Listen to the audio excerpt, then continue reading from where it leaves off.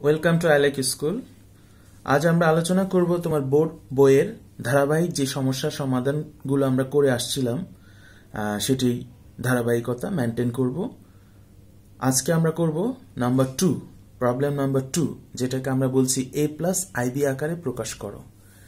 এটি তোমার বইতে, পাঠ্য বইতে দেখবে, দুই নম্বরে এই অঙ্কটি রয়েছে এ প্লাস আইবি আকারে এক্সপ্রেস করা এখানে আমরা চারটি প্রবলেম সাজিয়েছি। ক, খ, গ, ঘ, এখানে চারটি প্রবলেম চার রকমের, চার প্যাটার্নের উদ্দেশ্য হলো, এই চার প্যাটার্ন যদি তুমি সলভ করতে শিখে ফেলো, তাহলে অন্যান্য অনুরূপ অঙ্কগুলো করতে পারবে। আচ্ছা প্রথমে আমরা কয়ের সমাধান দেখব। কয়ের সমাধানটি আমি যদি উন্মুক্ত করি, তাহলে এখানে আমরা এক লাইনে কয়ের সমাধানটি করে রেখেছি। কীভাবে করতে হবে? Seven plus two i divided by five minus two i অর্থাৎ যদি দুটি জটিল সংখ্যা এইভাবে ভাগ ফরম্যাটে থাকে, ভাগ ফরম্যাটে থাকলে আমরা থিওরি ক্লাসে আলোচনা করেছিলাম পূর্বোক্ত লেকচারগুলোতে যে আমরা তাদেরকে নিচে যেই হর রয়েছে নিউমারেটর ডেনোমিনেটর ইংরেজিতে বাংলায় লব এবং হর, যে হর রয়েছে ফাইভ মাইনাস টু আই তার অনুবন্ধী জটিল সংখ্যা দিয়ে আমরা লব হরকে গুণ করব। তাহলে ফাইভ মাইনাস টু আই এর অনুবন্ধী জটিল সংখ্যা হলো ফাইভ প্লাস টু আই আমরা যেটি করব, লব এবং হরকে ফাইভ প্লাস টু আই দিয়ে গুণ করব। আচ্ছা গুণ করলে যেটি হবে, নিচের অংশটি খুবই সহজ। এ প্লাস বি এবং এ মাইনাস বি আমরা জানি, দুটি জটিল সংখ্যা যারা অনুবন্ধী পরস্পরের, তাদেরকে প্রোডাক্ট করলে খুব সিম্পল একবারে লিখে দেওয়া যায়, তাদের বাস্তব অংশের স্কোয়ার অর্থাৎ ফাইভের স্কোয়ার এবং কাল্পনিক অংশ যে টু যেটি এর যে ভ্যালুটি সেটির স্কোয়ার কেন এটি হচ্ছে? আমি দেখিয়েছি এখানে।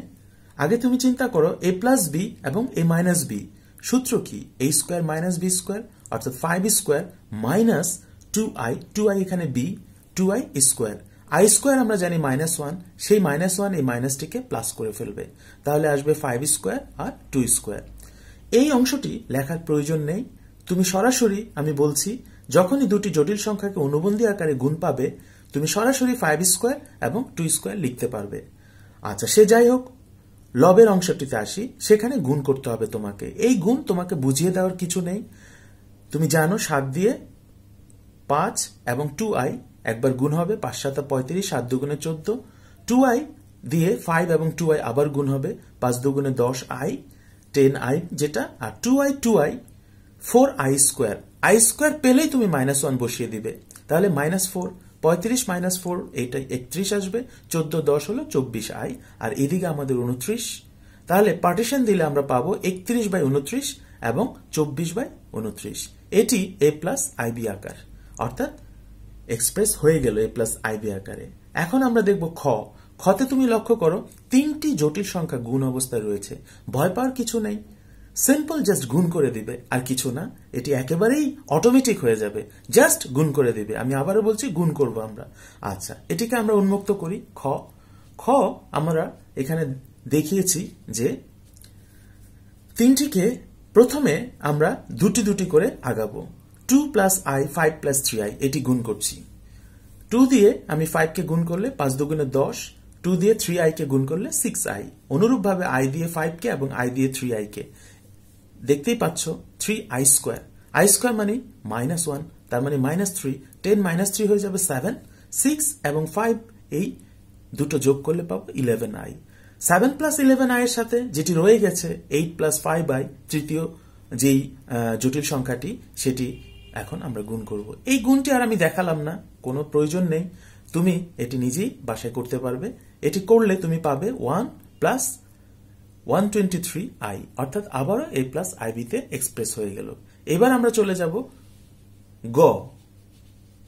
আচ্ছা গ নাম্বার অঙ্কটিতে, বা সি যেটি, সেখানে two plus i whole cube আছে। অর্থাৎ যদি টু প্লাস আই হতো two plus i by two plus three i হতো, তাহলে ভেরি সিম্পল হতো, সেটি কয়ের অনুরূপ হতো। কিন্তু একটু ঘুরিয়ে দিয়েছে, আমরা দেখতে পাচ্ছি টু প্লাস আই এর কিউব আছে। এমনও হতে পারে টু প্লাস আই এর স্কোয়ারও থাকতে পারত। যাই হোক স্কোয়ার না দিয়ে আমরা কিউব ওয়ালাটাই চয়েস করলাম, কারণ কিউবের সূত্রটা আমরা একটু দেখতে চাই। আচ্ছা A plus B whole cube সূত্র কি? A cube plus three A square B plus three A B square plus B cube just সূত্রটা আমরা লিখে ফেললাম। তোমার যেটা মাথায় রাখতে হবে আই স্কোয়ার পেলে তুমি মাইনাস ওয়ান বসাবে, আর আই কিউব পেলে তুমি মাইনাস আই বসাবে। আমি এখানে আবার সেই রোটেশনাল যে ফিগার যেটা আমরা থিওরিতে আলোচনা করেছিলাম, যে আই স্কোয়ার কেন মাইনাস ওয়ান আই মানে নাইনটি ডিগ্রি ঘুরে যাওয়া, তাহলে আই স্কোয়ার মানে দুটো নাইনটি ঘুরবো। এক, দুই তারপরে মাইনাস ওয়ান আই কিউব মানে তিনটা নাইনটি ঘুরবো। এক, দুই, তিন। দ্যাট মিনস মাইনাস আই তাহলে আই স্কোয়ার পেলে তুমি মাইনাস ওয়ান বসাবে আই কিউব পেলে তুমি কি বসাবে? মাইনাস আই বসাবে। আমরা তাই করেছি। আই কিউবকে মাইনাস আই বসিয়েছি। আই স্কোয়ারকে মাইনাস ওয়ান লিখলে তিন দুগুণে ছয় মাইনাস ছয় এখানে। আচ্ছা এগুলো যদি যোগ বিয়োগ করো তুমি, তেমন কিছুই না। আট বিয়োগ ছয় দুই, বারো আই থেকে একটা আই চলে গেলে এগারো আই তাহলে দেখা যাচ্ছে, এই অংশটি আবারও কি ককে রিপ্রেজেন্ট করছে না? অর্থাৎ কতে তুমি দুটি জটিল সংখ্যার অনুপাত যেভাবে সলভ করেছ, ক যেভাবে করেছ two plus eleven i divided by two plus three i তুমি একই মেথডে যাবে। কি করবে? তুমি জানো যে, হর যেটি রয়েছে, তার অনুবন্ধী দিয়ে আমরা ভগ্নাংশটির লব এবং হরকে গুণ করব।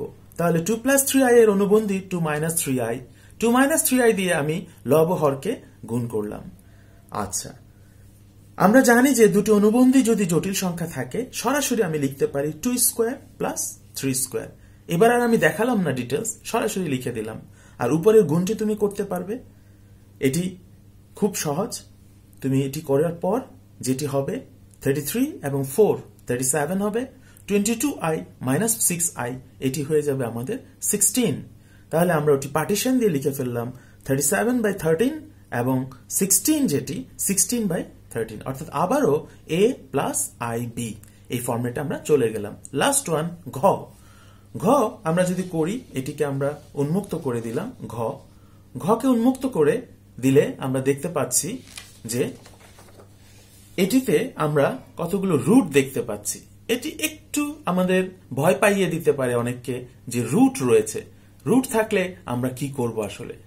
হ্যাঁ রুট থাকলে আমরা কি ভয় পাবো? রুট কি আমরা এই প্রথম দেখছি? নিশ্চয়ই না। নবম, দশম শ্রেণীতে এই ধরনের রুটের গুণ আমরা করেছি। এটি আমাদের নতুন কিছু নয়। আচ্ছা কি করতে পারি আমরা? এটিও ভগ্নাংশ। Three minus root two i, two plus root three i.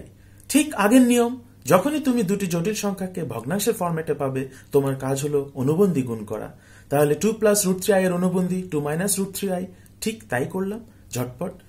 অনুবন্ধী থাকলে আমরা জানি বাস্তব অংশের স্কোয়ার এবং কাল্পনিক অংশ রুট থ্রি এর স্কোয়ার।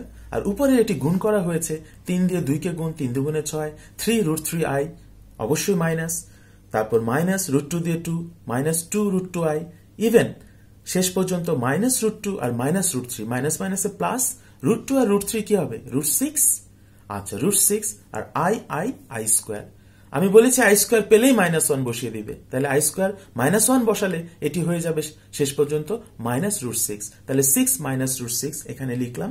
এবং এখান থেকে আই কমন নিলে দুটো থেকে তুমি পাবে three root three plus two root two আর ওদিকে ফোর প্লাস থ্রি হয়ে গেছে আমাদের নিচের অংশে। আচ্ছা এখন জাস্ট আমরা পার্টিশন করে দিব six minus root six by seven এবং মাইনাস আই এবং ওই যে রুটের ভেতর যেটা three root three plus two root two by seven অর্থাৎ এ প্লাস আইবি যদিও এখানে মনে হচ্ছে এখানে তো মাইনাস আপনি প্লাস বলছেন কেন? আসলে প্লাস আছে। ওই, এই মাইনাসটি এই পুরোটার সাথেই রয়েছে। আমরা বলতে পারি এ প্লাস আইবি ফর্মই ওকে একটি হোমওয়ার্ক সেট করা হলো তোমার জন্য। হোমওয়ার্কটি দেখে তোমার মনে হতে পারে তুমি বুঝে ফেলেছ যে চালাকি করে দুটো অঙ্ককে অ্যাড করে দিয়েছেন। আসলে আগের যে দুটো অঙ্ক ছিল, কতে সেই কয়ের দুটো অংশকে আমরা যোগ করে দিয়েছি। তাহলে তুমি এটি আলাদাভাবে করো, এটি আলাদাভাবে করো, তারপর যোগ করে দাও। এটি রেজাল্ট আমি দিয়ে দিয়েছি, মিলিয়ে নিবে, বাসায় প্র্যাকটিস করবে। এখানে আরেকটা কথা বলা দরকার যে না, আমি আলাদা আলাদা করব এমন নাও তো হতে পারে। আমি সরাসরি সরল করতে পারি। হ্যাঁ তুমি সরাসরি সরল করলে এই ফলাফলটি পাবে। ওকে? আশা করি কীভাবে এ প্লাস আইবিতে নিতে হবে এটি তুমি বুঝে ফেলেছ। ওকে, আজ এই পর্যন্তই থাকল। ভালো থেকো।